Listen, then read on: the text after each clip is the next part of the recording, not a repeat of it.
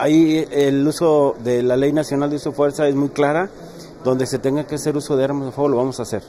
Digo, en el caso de un servidor he tenido algunas situaciones donde en mi dirección de la Secretaría hemos tenido incidencias de lesiones e incluso eh, en el enfrentamiento ha pedido la vida de alguna persona y hemos salido avantes en ese sentido porque se ha acreditado el, uso legítimo de la fuerza y en ese sentido seguiremos nosotros. O sea, si se tiene que hacer el uso de un arma de fuego en donde el riesgo de la vida de una persona, de un civil o del propio elemento está en riesgo, se tendría que hacer. Pero eso queda totalmente bajo el criterio y la responsabilidad del elemento al estar interviniendo un hecho.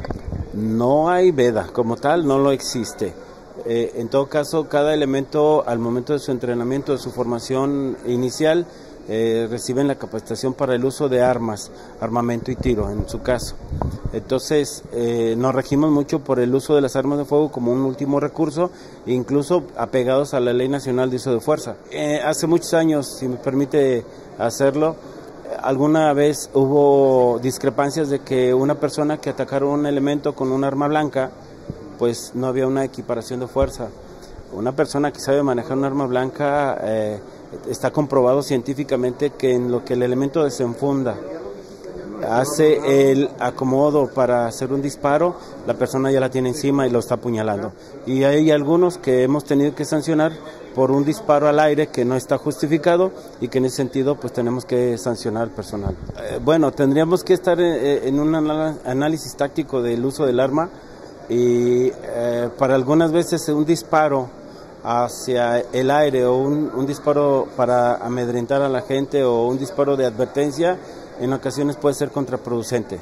Entonces dependerá mucho de la situación como para poder determinar si el disparo puede ser al aire o definitivamente tenga que ser una intervención para que el elemento no sea agredido o una persona común, donde se tiene que evaluar mucho en su caso, como lo dije hace un momento, el arma es el último recurso, el arma de fuego.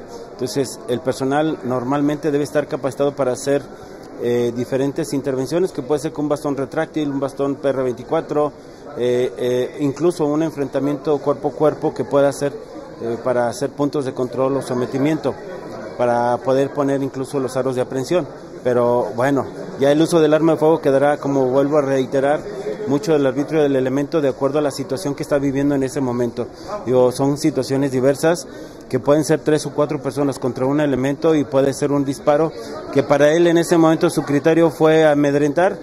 Hay gente que sí echa el paso hacia atrás y hay gente que se pone y lo dice, dispárale aquí, dispárale aquí, o sea, todavía la gente te enfrenta después de haber eh, hecho el uso del arma de fuego. Yo, hay que valorar mucho el momento.